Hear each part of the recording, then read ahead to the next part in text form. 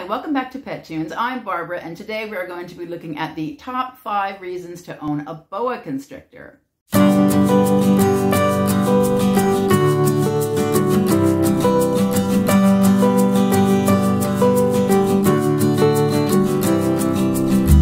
I would love to know what do you think about boa constrictors? Do you love them? Are you scared of them? Just pop it in the comments below after you've watched this video. We want to hear about it. And speaking of hearing about it, this week's shout out goes to Webnetrix who commented on our Farm Animals That Make Good Pets video. Webnetrix says, I love all those animals. So do I. So thank you so much for sharing. I think they all make good pets. So let's look at our top reasons for owning a boa constrictor. Number one, they have lots of different colors. Boa constrictors come in lots of different types and colors. There are rainbow boas, albino boas, ghost boas, blood boas, and lots more.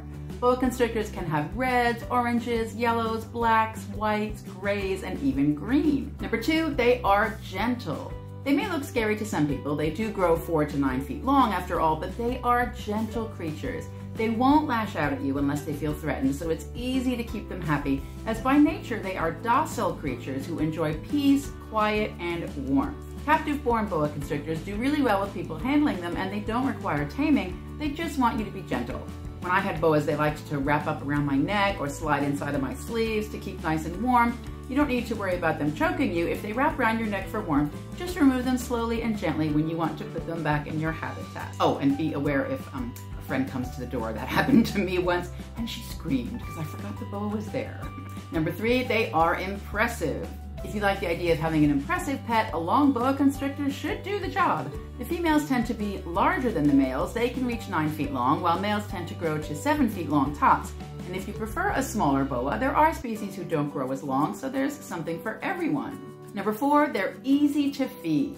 Unlike other pets, snakes don't eat every day. Boa constrictors will eat anywhere from once every five days to once every two months. A young boa constrictor needs to eat more frequently than an adult, and the exact feeding schedule will vary depending on your individual snake's needs, but it won't be every day and it's easy to do.